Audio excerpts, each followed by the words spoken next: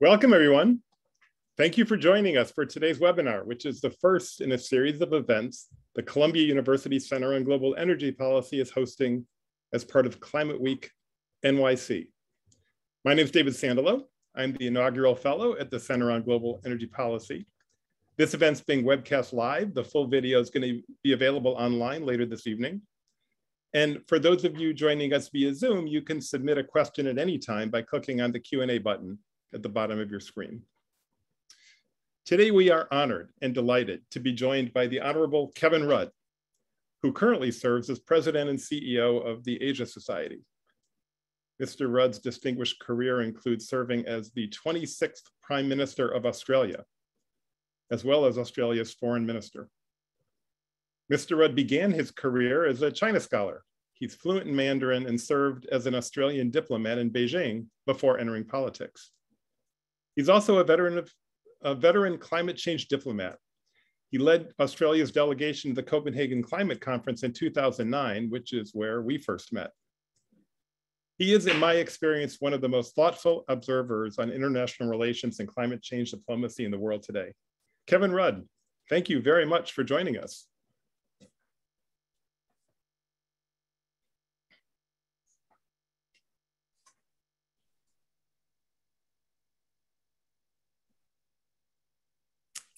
Good to be with you, David, and um, and uh, greetings from Australia, where it's tomorrow.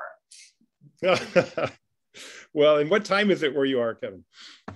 It's just gone 8 a.m., so this is a respectable hour for um, dealing with our friends in the East Coast of the United States. So I'm more than relaxed. Often I'm up uh, midnight and two o'clock in the morning doing stuff in America. So this is actually a good time. Well, thank you. And, and not only is it early in the morning, but I know um, uh, it's a matter of public record, uh, Mr. Prime Minister, that today is your birthday. So let me start off by wishing you a happy birthday and tell you how honored we are that you would join us on your birthday here at the Center on Global Energy Policy. Well, thank you so much, uh, uh, David. Um, you get to a stage in life where you try to push these birthdays off the horizon. Um, but uh, as my wife said uh, to me uh, earlier today, why does your birthday always happen in UN week? I said, because A, they've never changed my birth date, and B, they're unlikely to change when UN week happens. So, but because it's climate week, um, we've got a dispensation to carve out a single event today, and that's this one, David. So, for my birthday. Well, again, happy birthday, and thank you so much. Let, let's start with nuclear submarines. Uh, it's, it's not a topic that is a climate change topic per se, but it's it's been in the news as a result of an agreement, which I think most of our audience members are, have probably seen in the press. But in case they haven't, I'll just say that uh, the Australian, British, and U.S. governments agreed last week on uh, a deal with respect to nuclear submarines. Uh, it's been controversial that uh, Australia had an agreement with France to develop nuclear submarines, and the French are unhappy and withdrew their ambassador from Washington, D.C. Um, what are your thoughts on the agreement, Mr. Prime Minister? I think basically there are massive flaws in the agreement. Um, when I was Prime Minister, we produced a defence white paper, probably 2009, uh, covering out our own Australian Defence Force requirements through to 2030. We then launched a proposal which was accepted on all sides of politics to then double the Australian conventional submarine fleet uh, to 12 boats uh, and we then began a process of um, putting out to tender how those would be built in Adelaide and our shipyards in South Australia. Uh, and then we ran through a series of conventional submarine tenderers uh, from Japan, from Germany, and also from France. The French won the tender. And for the French, it was a big project. It's like it's a $90 billion project. So this is not a piece of loose change when you're starting to build submarines. And so roll the clock along. Um, that decision was taken, in fact, in 2016 after I had left office, that is the awarding of the contract. And then suddenly, like a bolt from the blue, literally at the end of last week, the current Conservative government of Australia, led by Mr. Morrison, unilaterally, as it were, repudiated the contract, said instead that Australia would move from conventionally powered submarines to nuclear powered submarines. And secondly, the contract with the French was therefore null and void. And thirdly, instead, it will be provided by an as yet unspecified Anglo American consortium. So the issues in the Australian political debate as we head towards our next national elections are is A, how much is this just coloured by domestic politics by making the current Australian Conservative government look suitably hairy-chested on China? B, uh, is this a way to treat a French partner, friend and ally? To which my answer is no.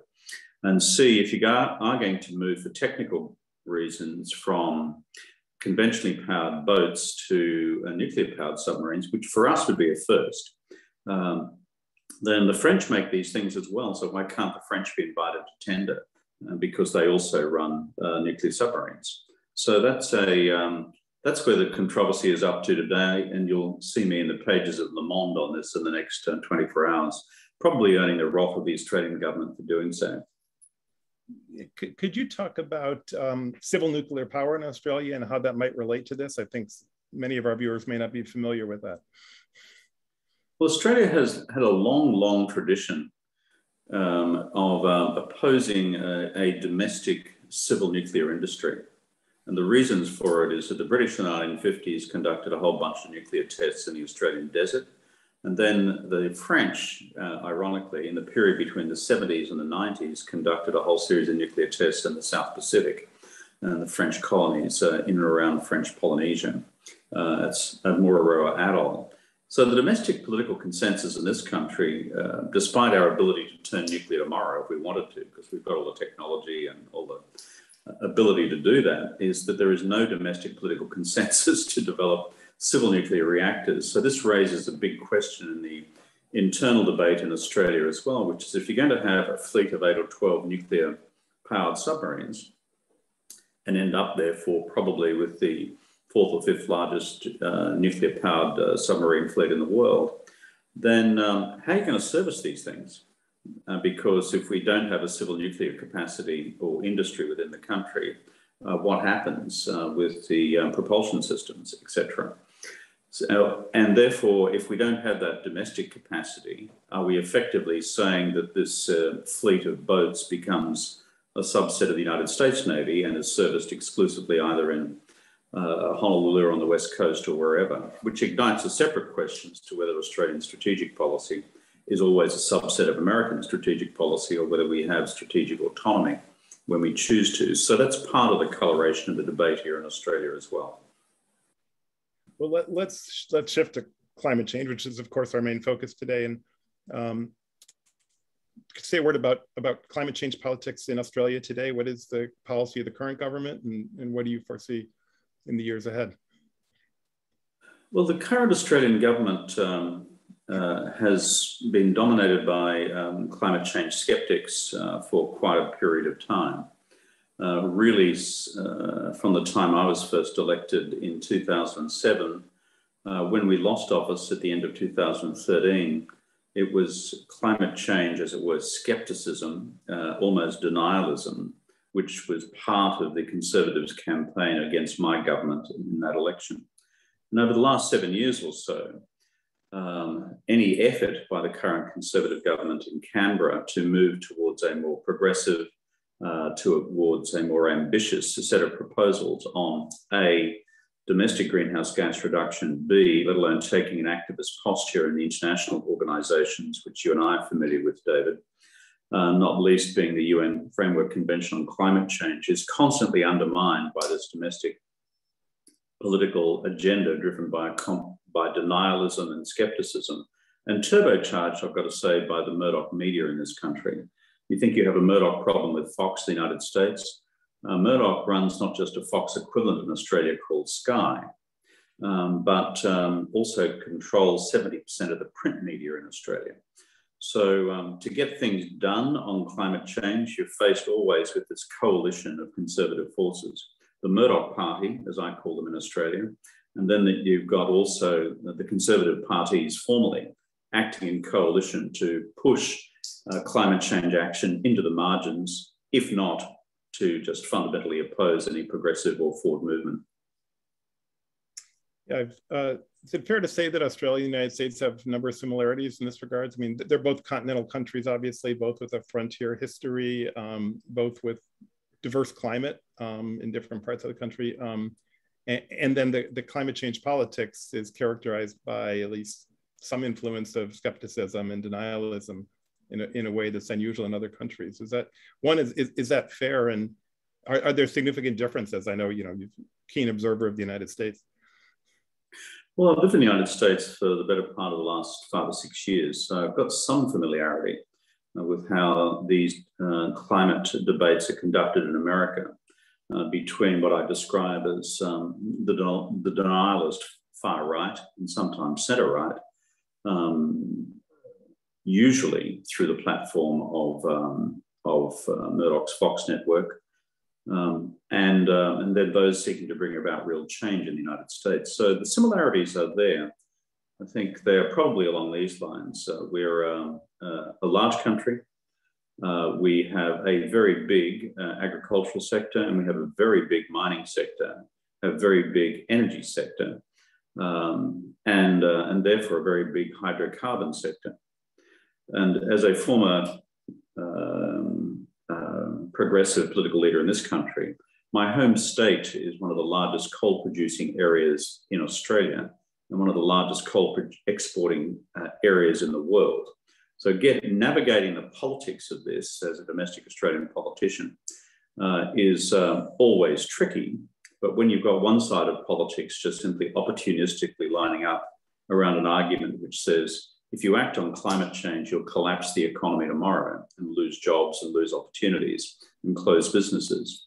The resonances of that debate, as we've seen it in America, uh, are certainly writ large in this country as well.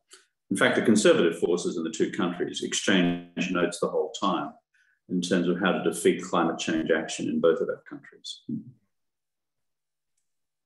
As I said in in my introduction, you were a China scholar before you were a politician and are fluent in Mandarin. I spent a lot of time in China, uh, which is obviously an exceedingly important country when it comes to climate change, um, largest emitter in the world by far.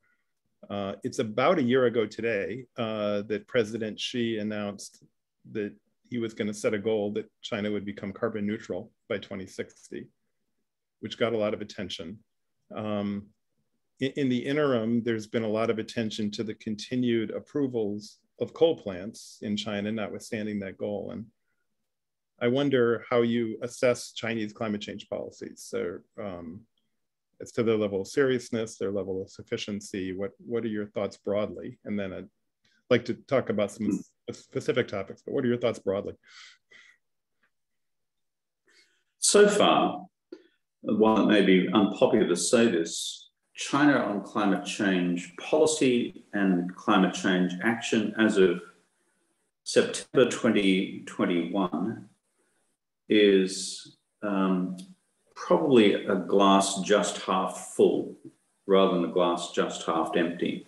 Mm-hmm. And I think it's important for us to recognize why. Uh, the journey which they've traveled since Copenhagen, David, you will well remember, when China and India, uh, together with their acolytes around the world, uh, basically took out their equivalent of a uh, climate change submarine and sought to torpedo whatever action, uh, combined action we were seeking to bring about in Copenhagen. Nonetheless, we did come through with the Copenhagen Accord. So, from that posture in 2009 of let's call it overt hostility uh, to where we are in 2021, it's been a long journey for the Chinese. Um, turning to the present, however, um, you're right to point out the fact that uh, 12 months ago, when Xi Jinping delivered his uh, General Assembly address, as he's speaking again to the General Assembly, I think today in New York, um, we had this uh, quite remarkable statement from Xi committed to um, achieving uh, carbon neutrality by 2060. The current, as it were, doxology almost of, um, of Chinese uh, carbon policy it hangs around these two carbon commitments, which is uh, carbon neutrality by 2060 and carbon peaking by 2030. Now, you and I, David, both know that if we're going to keep global temperature increases uh, beneath one point, uh, at 1.5 degrees uh, centigrade by the end of this century, neither of those commitments is at this stage sufficient. Compared with where they were before, they are improved. So the, the, both the policy and the politics and the diplomacy of where we stand with China is to fashion the international political debate to encourage the Chinese to improve on both of those, to bring, as it were, carbon uh, for them peaking to, to 2025, and certainly to bring their, uh, their carbon neutrality commitment back to 2050. And while they're at it, to include not just carbon, but other greenhouse gas emissions as well. Now, that's all within the realm of possibility, but still continuing political difficulty. But if we manage the debate effectively with the Chinese, it's, in, it's certainly doable. You know, I think to, to many observers around the world, particularly people who haven't, you know, lived in China or, or you know, studied there, it's a black box and very hard to understand what the forces are within the country. And you've had the opportunity to live there and study Chinese political system. In a scenario in which the Chinese government does make the forward steps that you were just suggesting, um, how do, how do you, what forces do you think would lead to that within the Chinese system? Um, what, why would that come about? Um, and, and if it doesn't, why would it not come about? At a policy level, uh, the Chinese uh, ultimately, given the strong influence, frankly, by the old Soviet Union in the formation of China's political and bureaucratic apparatus in the 1950s, are very much a science driven crew. Mm. Um, ultimately, they believe in the hard sciences. Uh, the, the leadership of this country in China are either engineers, um, physicists, um, or, um, or uh, those who derive from what we would describe as um, uh, a range of uh, very practical um, scientific uh, and uh, engineering professions. Uh, social scientists are lacking in the Chinese system, and that is a separate question, which we'll, we can talk about when we next have a forum on human rights. But in terms of the, the hard sciences on questions of climate, ultimately, the Chinese domestic conclusion, in my view, David, is pretty simple. They worked out sometime around 2010 to 2012 that not only was this real, but that potentially represented a torpedo amidships to China's aspiration to become a global great power. Hmm. And that is that the domestic impact of climate change on China itself, on its economy, on the well being of its people, even on the question of, uh, of air pollution, uh, and given the intersection between that debate and uh, on particulate matter and, and uh, greenhouse gas concentrations, was such that the Chinese Communist Party believed that they had to change posture. So roll that clock uh, forward to the present. So you've got this, frankly, quite literate, as you know, David, from your own experience in dealing with the Chinese, scientifically informed, large slices now of the Chinese bureaucracy, not just at the um, Ministry of Environmental uh, Planning uh, and Protection, uh, but also in the national planning apparatus of the country writ large, who get the science, who understand the policy implications. Now, at the same time, their system, despite it being a one party state, still has an, an aggregation of industry interests uh, uh, around the Ministry of Energy, the old coal uh, ministries, etc., all uh, becoming enormously powerful bureaucracies and state owned corporations at the same time, mm. all of whom will be in the other ear of Xi Jinping saying, Yes, but Comrade Xi, if you do this, you understand the implications in Shanxi and Shaanxi, you understand what will happen in terms of uh, employment here and there, and you understand the uh, net economic consequences in terms of uh, uh, our uh, energy costs in a unit of production, etc. So all the debates you and I are familiar with globally and this audience that we're speaking to today, David, are had within China, but in a closed system. Mm. So far, I would describe that the forces for progress are kind of ahead in this debate, 52 48. and uh, it is a daily battle. So every time you feel like criticizing Xi Jinping and his team, understand that for the lack of Chinese public ambition and change, understand that the internal fight within their system, which never reaches uh, the, the, the, newspapers, obviously, given it's a one party state, is very fierce. But as I said, I use advisedly the term it's a glass just half full rather than one half empty. Xie Zhenhua, you just mentioned, is the longtime Chinese special climate envoy of ministerial rank and like leading Chinese climate expert in China. Yeah. Uh, um, um, are, are the provincial governments important in, in this whole discussion? They are, um, David. There's a, an expression in Chinese which is 上有政策,下有对策, which is above we have policies and below we have counter policies. And, uh, and so the ability to unravel stuff on the ground uh, as the Chinese system uh, at a provincial and sub-provincial level is able to, as it were, work its way around. However, that has been the case at least until Xi Jinping's statement to the UN General Assembly last year. Now it's a question of Xi Jinping's personal political standing and face that is on the line. And what I have now noticed in uh, the Chinese official literature on this subject, People's Daily Commentaries and all the rest of it, where you see the mar marginal ebbs and flows within the Chinese official orthodoxy on these questions, Xi Jinping now ensuring that the national planning apparatus in China takes these two carbon commitments about peaking in 2030 and neutrality by 2060 and drilling it right down to, frankly, the provincial and sub provincial level. So you will be assessed in terms of your future promotion on your ability to deliver, just as you were assessed 10 years ago on your ability to deliver jobs alone. So this is now, I think, a corrective within their system.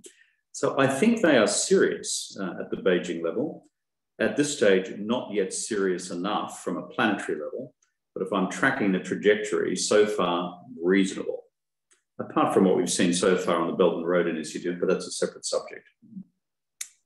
Uh, but since you raised it, let's talk about it. That's uh, you know hugely important, and um, over the course of the past, you know, five to 10 years, under the auspices of the Belt and Road Initiative, Chinese state-owned enterprises and Chinese financial institutions have provided enormous capital for construction of high carbon infrastructure.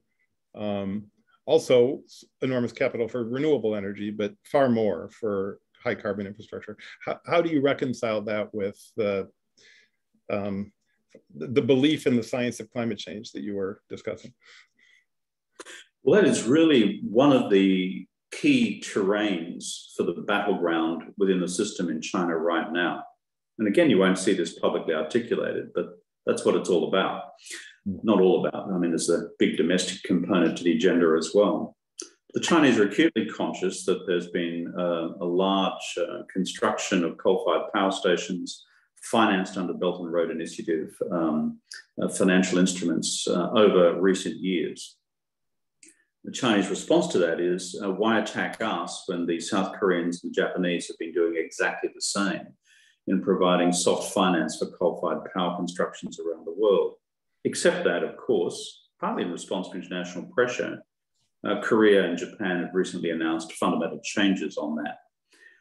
And what I see early signs of is that perhaps as early as Glasgow, we may begin to see the Chinese make definitive commitments in terms of the BRI for the future. Make it green. That means no more coal fired power stations. That means no more Chinese finance for coal fired power stations. And then there's a question of that mean also no more um, provision of Chinese uh, labor and engineering expertise to do it as well if they were financed technically beyond the BRI machinery. So this debate is live right now. I would not be surprised if Xi Jinping, maybe even at the UN General Assembly, maybe through whoever represents China at Glasgow at COP26, begins to take a more definitive position on that. Certainly, it's where China needs to go, because the BRI economies collectively, um, not too many years from now, will represent half of uh, to total global emissions between them. This relates to a question that we received from Gabriel uh, Abgarinos. I hope I'm pronouncing your name correctly, who, who asks, can you please discuss the coal situation and outlook vis-a-vis climate change uh, in China um, and from Australia's point of view in terms of coal mining exports and coal power generation?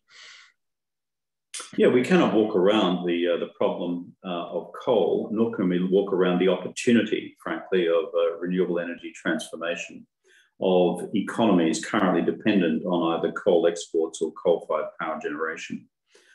Uh, and this is where a lot of the demonology and the politics of uh, Western countries, the United States, look at Virginia, look at West Virginia, look at uh, my country, Australia, look at the states of Queensland, New South Wales, and uh, frankly, the big coal producing provinces of Shanxi and Shaanxi in China. um, the debates are parallel. So, um, in terms of where China is going on this, uh, you will, you've already begun to see the emergence of Chinese commitments in terms of changes to its overall national energy mix that is in the direction of a greater renewable energy component. From memory, the current Chinese uh, commitment uh, is to have uh, one quarter of their total uh, energy mix represented by renewables. Um, the, in, the internal planning work uh, in China is to, in fact, increase that uh, to somewhere like 50%, but I don't know what the target date is. And of course, that would be at the expense of coal. Importantly, however, it still excludes gas um, and it still excludes oil, which, as we know, are also hydrocarbons. But China domestically, for the scientific and economic reasons I referred to before, David, has got the message on coal, but its transition politics and policy abroad through the BRI and at home through the uh, renewable energy um, uh, change in the overall energy mix is underway, again, not fast enough uh, for the planet's needs. Australia, um, the current Australian government, um, the Conservative government, uh, frankly, its commitments on greenhouse gas reductions uh, within the uh, COP26 uh, UNFCCC framework are woefully inadequate. Um, uh, the current uh, level of ambition is somewhere between uh, 25, 26% reduction against 2005 levels by 2030. Uh, at present, um, the Prime Minister, Mr. Morrison, has indicated no fundamental change on that. Um, I suspect by the time we get to um, uh, COP26 and that his best buddy of submarine fame, uh, Boris Johnson, uh, will be, as it were, the de facto chair of uh, COP26 in Glasgow. But as we speak right now, the pressure between London and Canberra for them to lift the uh, commitment uh, by Australia to something more respectable, that is in the vicinity of 50% uh, reduction using 2005 um, benchmark by 2030, is, I think, within the realm of possibility and finally hauling them across the line to do what every other developed country has done, which is to accept um, carbon neutrality by 2050. But it's like extracting teeth. Um, and of course, the big component within that is coal and the failure of the current government of Australia to bring about effective, shall we say, uh, transformation within the domestic energy uh, industry within this country as well. Let's shift to relations between the US and China. There's extraordinary interview over the weekend you might have seen in which the UN Secretary General, uh, Mr. Guterres, described the relationship between the US and China as, quote, completely dysfunctional.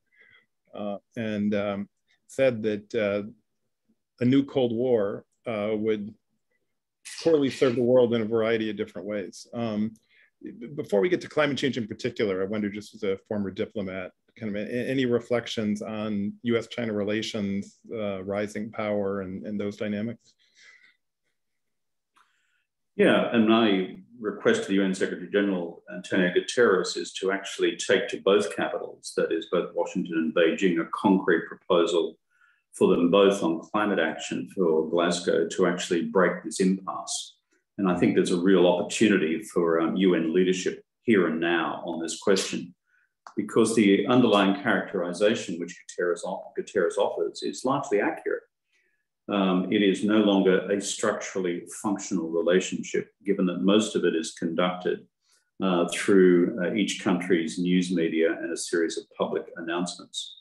The one carve out, though, David, is so far a highly civilized, professional, uh, and productive relationship between John Kerry uh, President Biden's uh, special envoy on climate change and Xie Zhenhua, his Chinese equivalent, where within the political constraints of both capitals, who are currently locked in a new form of strategic competition, which may degenerate into a new form of Cold War uh, as the decade progresses, but we're not there yet. Those two are at least holding together the framework of a discussion, a conversation, negotiation about what we can, what these two largest emitters in the world, China and the United States, can do by way of combined global leadership uh, at Glasgow and beyond. So it's not dead yet, this one. It's still alive. It's flapping. but it still needs, um, shall we say, the injection of oxygen to keep it alive um, at that level. I'm optimistic that we can do that, but the constraints are real. Are there specific areas that you think are most fruitful for cooperation between the US and China on climate change issues?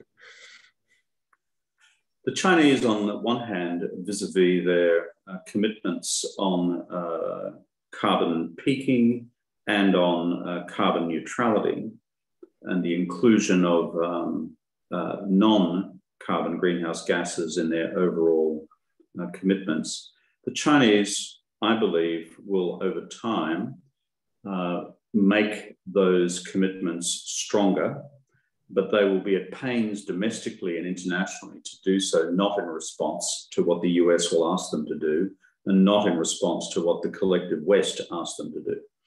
So um, uh, it will therefore be very much at, uh, uh, at a timing and, an, and at a venue of Xi Jinping's choosing, which is why I go back to my point before about Guterres and the UN uh, and the good offices of the UN Secretary General should be used on this occasion. In the rest of the US, um, Uh, um, China uh, climate partnership, uh, I believe on the technology front and uh, the renewable energy technology front, there are multiple uh, opportunities for these two countries to possibly work together. David, you're deeply familiar with where we got to in terms of the climate change cooperation agreements between the Obama administration and the Chinese in that period leading up to Paris in 2015 all that um, agenda is there still rich for the taking and the development in each of those categories and subcategories. We don't have to reinvent that wheel, it's there. The key thing is to mobilize it uh, for the collective good of the planet. I think that's doable. John Kerry, as we know, um, great man, uh, is never short of ideas. He's never short of energy. He's never short of diplomatic enthusiasm. The same with Xie Zhenhua, who is an entrepreneur, a climate entrepreneur within his own problematic system. Uh, for the rest of us, I think it is to bring pressure to bear on the rest of the Chinese and American administrations to carve out the political and diplomatic space to get this level of collaboration done and advanced. It's doable, particularly in renewables, but also in terms of what may be achievable by way of combined global climate change finance uh, in terms of the Global Green Fund uh, by the time we get to, um, uh, get to Glasgow as well. We have a, a question from uh, Shangyu Nye, who is a, uh, a non-resident fellow with our center um, at Columbia uh, along these lines, and it, he highlights the challenges that may be faced here. He, Shangyu writes, um, it's reported that Chinese Minister uh, Wang Yi commented to the effect that if US and its allies continue to take the hostile, hostile approach to China on issues such as the Australia-UK-USA nuclear submarine agreement, it might force China to take a non-cooperative approach to climate change issues. Do you foresee that type of dynamic um, potentially playing out in the months ahead? That certainly reflects the Chinese official line, um, that comment and observation, which is at two levels. What China has said, if you look carefully at their uh, briefing in and around the most recent visit to uh, China by John Kerry uh, earlier in September was you want progress on climate, we need to see progress across the rest of the US China relationship vis a vis broader normalization. The US posture and response is climate is a freestanding issue. It, we have planetary responsibilities here, and we need to quarantine it out from the other dynamics geopolitical, military, economic, technological which currently dominate the rest of the US China relationship. And so these are the two, as it were, non comprehending universes speaking to each other at the moment. My appeal to both governments, you'd expect me to say this, but I think it actually makes sense in terms of each country's national interests. Each, if you look at the um, range of unfolding natural disasters in the United States, not just over the summer, but on a rolling and regular basis, not just fires, extreme weather events more broadly, and drought, but similarly in China, uh, often less reported, there is a deep national interest for both countries to do this. And in fact, what both countries should be doing at present is focusing on what do we do about India? because hmm. India, in the, in the face of this geopolitical contest between China and the United States broadly, and then narrowly in terms of whether climate change collaboration is conditional or otherwise on the rest of the improvement of the relationship. This other emerging major emitter, India, is at this stage largely off the map in terms of substantive commitments uh, for uh, Glasgow, as they were largely off the map in terms of substantive commitments coming out of Paris. So I would encourage both Beijing and Washington to think carefully about Delhi um, and think carefully about the planet, because between China, the United States, India, Japan, and Europe, therein lies the future of whether we get to 1.5 degrees or worse by century's end. That's a perfect transition to talking about multilateral climate change diplomacy. And um, you're a veteran of that. I guess, as I said in my introduction as well, you were at the Copenhagen conference. Um, what, what lessons did you take away from the Copenhagen conference?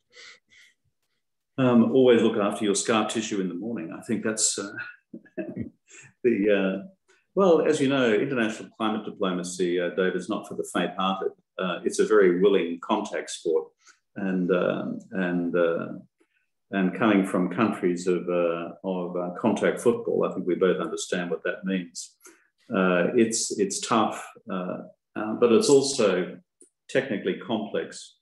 But at the end of the day, you get agreement at these conferences uh, based on one thing political will and political momentum coming out of the exercise of political will. What made Paris happen was, frankly, three things. Uh, one, uh, President Obama, uh, by the time we had moved from Copenhagen to Paris, having really got religion on climate. Two, Xi Jinping, early in his period, thinking that there was still a productive US relationship to pursue, being reluctantly persuaded by uh, President Obama that that was the case. Hence the agreements prior to Paris about China's um, embrace of the, uh, the Paris framework and its own national commitments. And thirdly, it was the effectiveness, frankly, of, of French diplomacy. Uh, and uh, the, uh, the extraordinary work of the French team um, around the foreign minister and around so many other senior French officials, which made it work. So the alchemy hasn't changed in terms of how these things work. So it's the political will in uh, Washington uh, and in Beijing to make Glasgow work. Um, creating the momentum necessary to pull everyone else in its slipstream. And then making sure that the Brits um, uh, are able to conduct the final element of the alchemy uh, at the conference itself. So I think the lessons of Copenhagen are like those of Paris and will be those of Glasgow as well. To be fair to the Brits, not having everyone physically in the room like we had in Paris and like we had in Copenhagen is a problem a lot of people are only going to be there virtually because of COVID. Uh, but I still think um, we can uh, push through this. Uh, and uh, but it's going to require, I think, a very dexterous performance on the part of President Biden to find a formula through which to work with Xi Jinping as they move towards the conclusion of the uh, COP26 outcome. I can't resist sharing a story in light of your mention of being in the room in Copenhagen because it's the first time we were ever in the same room together, Mr. Prime Minister, and I, I was a backbencher and you were at the table with about a dozen or 15 other prime minister or heads of state. Um, and uh, the, the negotiations were going nowhere and heads of state were there trying to rescue them, as you may remember. And, and what my memory is, is I recall you saying, you providing a textual edit to the um, to the agreement. And and you you read out a sentence that you I had seen you write, and I remember I had two reactions. One of them was that was a superb textual edit, uh, just exactly the right comment. And two, I can't believe a prime minister is actually offering textual edits to to an agreement. It was it was it was not the role that heads of state should have been in at that moment. Um, you know, it's a funny old thing about systems, though, and one of the reasons we ended up in that problem in uh, Copenhagen was because uh, in the green room, made up of heads of government, heads of state from effectively the G20 and some other smaller economies as well, uh, neither the Chinese nor the Indians were prepared to be representative head, at head of state, head of government level. But at that point, whether you like it or not, your political leaders have to take up the pen because that's the only point at which you are going to achieve the breakthrough. Mm-hmm. Um, and, uh, and it means that as you head into Copenhagen, uh, sorry, as you head into Glasgow, that frankly, a group of heads of government are going to have to read their brief, imbibe it, understand it, and work within it. So the I can't remember the textual amendment concerned, but I did come up with language about two degrees, which is, uh, for example, to ensure that uh, we kept temperature increases by the end of the century uh, uh up to two degrees, because I was working between the small island developing states, countries like Bangladesh, and where the mood of the, the conference was, which two degrees was just far too far. So finding the language uh, which can actually land people at a point where you maximize the ambition while recognizing the political constraints, you need several of the political leaders in the room to be across the brief and with a pen so that you can make that change at the right moment. I can testify that you were you were there doing that.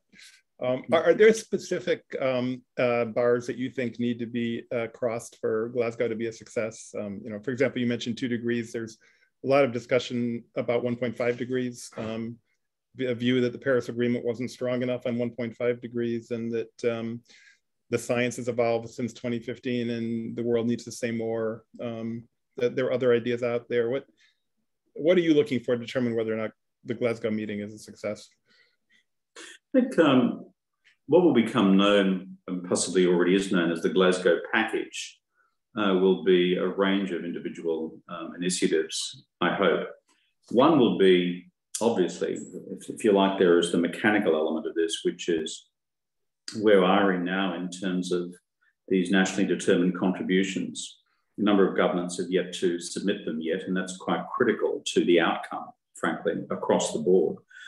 Uh, China has yet to provide its updated commitment, but that's where uh, Xi Jinping's statement to the General Assembly today is important. Remember that 1 July was technically the threshold date for getting in your new nationally determined commitments, which for this audience means what you're agreeing to by way of uh, a new ambition to bring down your global, uh, your own greenhouse gas emissions by 2030 um, in order to make the long-term commitments of 1.5 slash 2 degrees centigrade uh, scientifically meaningful. So frankly, what's one benchmark for success? to make sure that the NDCs, as we call them within the trade, are robust. China, and what it does in its NDC will be critical. President Biden has already indicated the direction which America is going. Um, the Commonwealth of Australia has not announced its yet, but as I said before, I'm optimistic that domestic political pressure in Australia will force the Conservatives to adopt a more robust posture, both on uh, its 2030 commitments as well as carbon neutrality. So that's one element. The second is on 1.5 degrees, David. We need to have um, defined pathways now to get there. Um, if the science now, based on the, the latest uh, IPCC report, is that it's 1.5 degrees or bust, and that's kind of my view, and has long been my view, then you need robust pathways uh, for uh, the political community to get there, um, and not um, pathways which um, are so broadly and ambiguously drafted as they actually cease to have meaningful policy effect. But there's a third element to success as well, and it's to do with our solidarity with uh, the um, uh, emerging markets in the developing world. In Copenhagen, with the pen, I was part of the agreement for, to sign off on a $100 billion uh, uh, commitment to a global climate fund, which would assist with um, uh, climate change adaptation uh, for countries around the world who are directly affected. Countries like Bangladesh, the Pacific Island states, um, the, uh, the Maldives, countries that we're all familiar with. That's still not fully delivered, needs to be delivered. And parallel to that, I would say a wider act of solidarity uh, with uh, the developing world, um, albeit not on the agenda of uh, COP26, of uh, a new form of global solidarity brokered by the UN in terms of uh, vaccines and pandemic management globally, so that the, the developing world gets it, that the developed world does not regard uh, developing countries as simply some important piece of additional greenhouse gas emissions add on, but actually is representing a huge slice of humanity who are facing fundamental existential challenges induced by both uh, their economic development uh, pr profile plus the impact of this pandemic. So solidarity, frankly, on the virus and on, uh, and on vaccines, making sure that the $100 billion fund is delivered and enhanced in real terms to be meaningful, given the cost of adaptation, together with the other measures I've just referred to. I think they would be the benchmarks of success. John Odell asks in, in the chat um, about climate finance and opportunities for US-China cooperation. Do you, do you think that the finance topic you were just touching on is a place that the US and China could work together?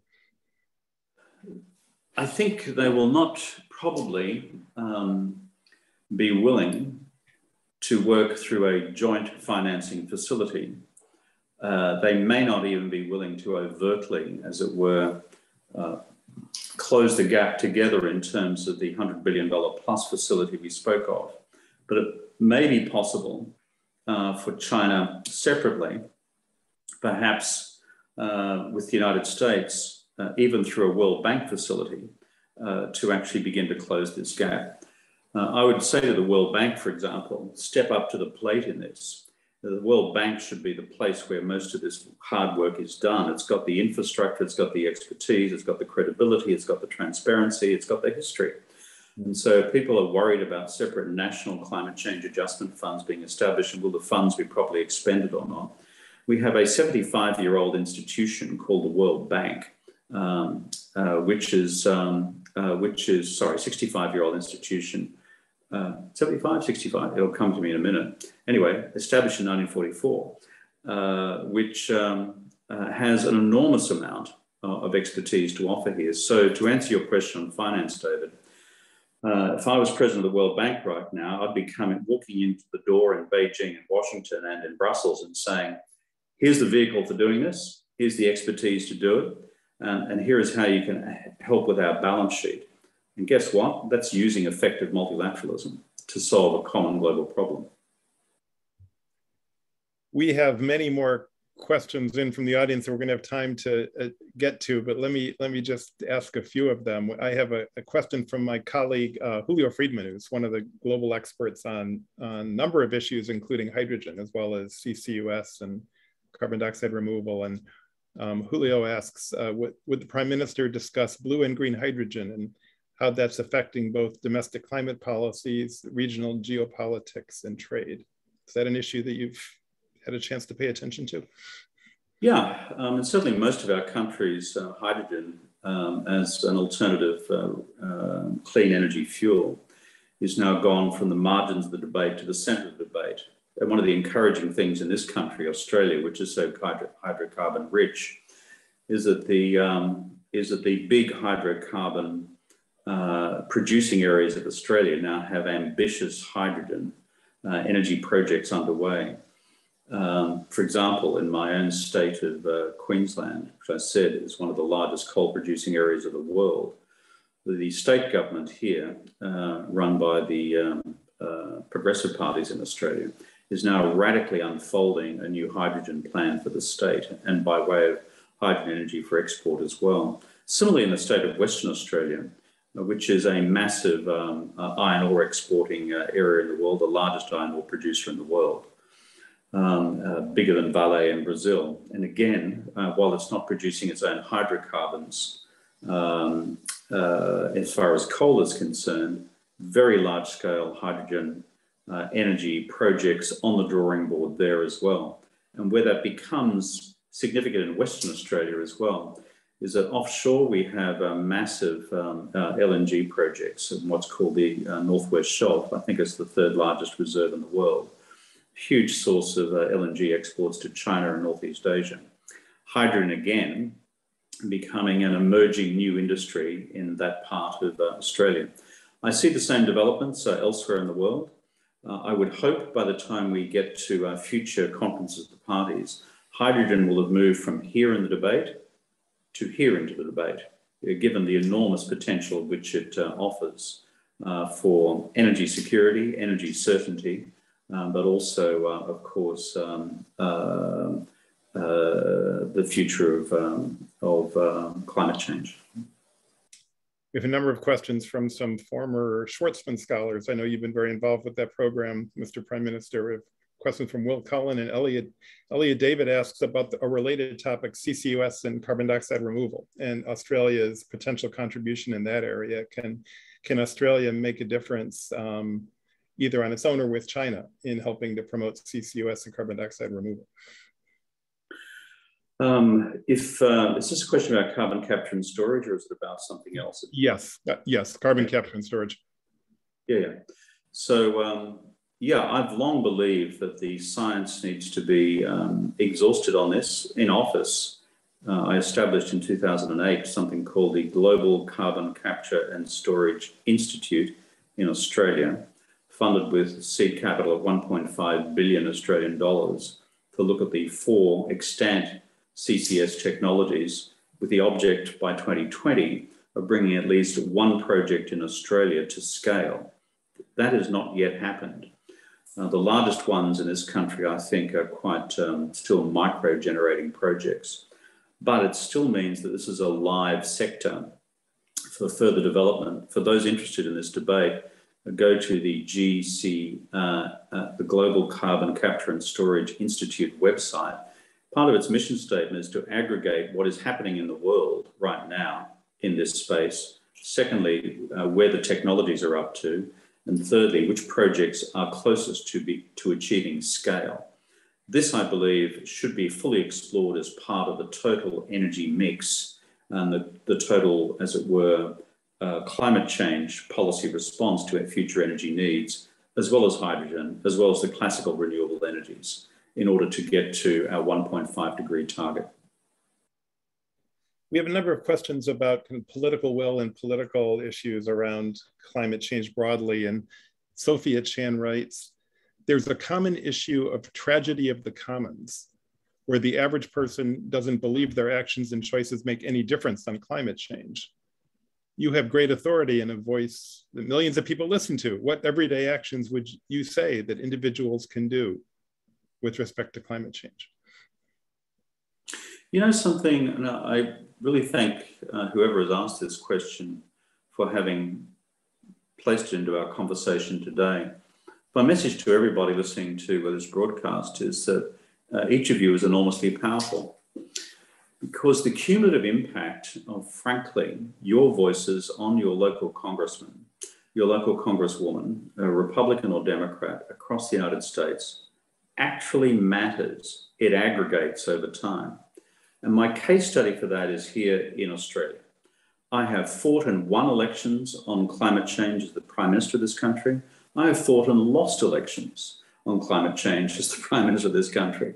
And I have the scar tissue to prove both of those. and so, but let me tell you, political leadership from above is one thing, but until it meets, frankly, a social movement from below, uh, you will not bring about a durable solution. So let me give you two lines of encouragement. Why is it that two weeks ago, the Murdoch empire, historically the cheerleaders of climate, ch climate change denialism and climate change skepticism around the world, um, the greatest supporters of the Trump presidency and presidencies like it around the world against climate action, why have they felt compelled in the last two weeks to change their global policy to one which will now support carbon neutrality by 2050. Let me tell you, it's not because of people like me, because they know where I stand. They know the ground is shifting underneath their feet in terms of their readership and viewership across the world.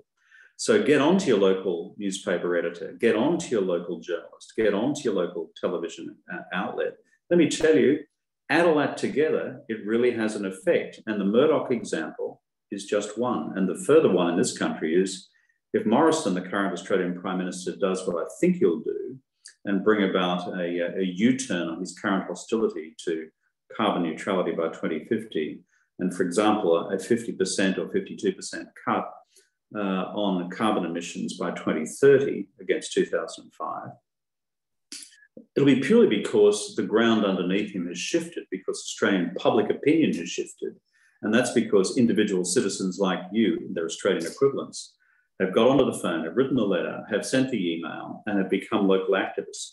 So it is fundamentally important that this continue. You know, climate change is a very hard issue because it's it's caused by invisible gases, uh, are odorless, and although the time frames are very fast by scientific standards, they can seem very slow in the course of a human life, I think. Um, do you have any advice for people who are trying to highlight the importance of this issue and what, what they can do about it? Yeah, in terms of the actual debate, I think there is um, two lines of argument which are particularly potent in the, let's call it, the global political mix. One is the cost of inaction is infinitely greater than the cost of action. The cost of action is simply one of adjustment from one form of energy production to another. Of course, it's challenging, but every single major economic adjustment in economic history has been from the Industrial Revolution to the present. So the cost of inaction being far greater than the cost of is message number one. And if you need a data, folks, just look at what various national insurance bodies of the United States, of other countries in the world are saying insurance costs now with extreme weather caused by climate. The big believers on climate change are the national insurance bodies around the world. And secondly, that brings me to when you next have your big fire in the United states, you next have your big drought in the United States, you next have your big superstorm where suddenly all this Caribbean weather is migrating up to the Hamptons. For God's sake, do not be apologetic about raising the climate change flag to the, to the mast, because that translates what you just said before about the abstractions of invisible gases into physically observable realities, which is my house has just been flattened, my house has just burned down, my farm is no longer capable of being farmed because there's no longer any water. That's pretty physical. It's those two things together. Mr. Prime Minister, you have just left, left us with an extraordinary amount of wisdom and experience in this hour. And, and we are so grateful that you took time on your birthday of all days uh, to do this with us. So uh, thank you so much. Uh, we, we are deeply grateful for you joining us. Um, as I mentioned at the beginning, the, the recording of this event is going to be available um, uh, tomorrow at uh, Center on Global Energy Policy website. Um, uh, our Climate Week NYC series continues on Thursday, September 23rd. Uh, at 9.30 a.m., we have an event with Mark Carney and Mark Gallogly. And at 3 p.m., a conversation with Mary Nichols and Jim Farley. Uh, thank you, everyone, uh, for watching. Uh, big thanks uh, to Prime Minister Kevin Rudd for taking the time on his birthday to join us. All the best. Glad to join you, David. All the best to everybody. Thank you.